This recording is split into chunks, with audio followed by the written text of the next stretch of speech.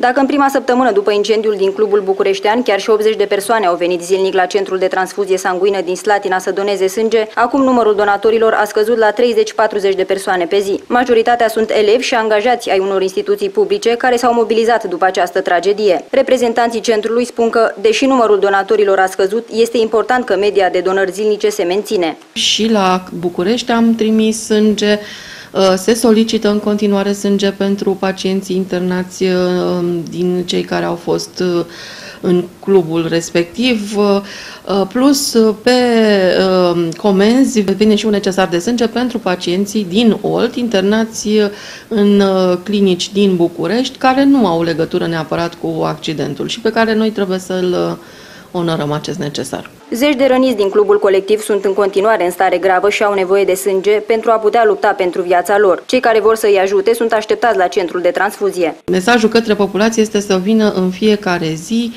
nu să fie o, o, o empatie atunci, imediat și pe urmă să se uite tot timpul oamenii aceia o să aibă nevoie de sânge până se vor externa din spital.